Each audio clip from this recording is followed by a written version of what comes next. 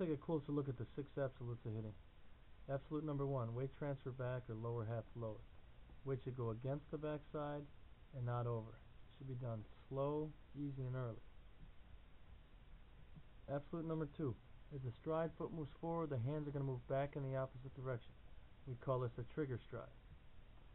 Stride forward, hands back. Once the stride foot hits the ground, the head should stay directly in between the feet. We call this the axis or center. Absolute number four, the swing should start in a sequence. Foot, knee, hip, hands last, with the body rotating around a stable head.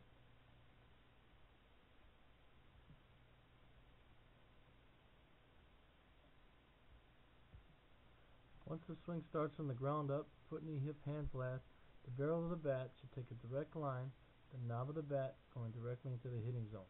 The barrel will be in a lagged position. At contact, the hitter should be palm up, palm down, and his back leg should be non-weight bearing. The hitter should finish his swing with full rear arm extension through contact till the wrist roll and maintain dynamic balance.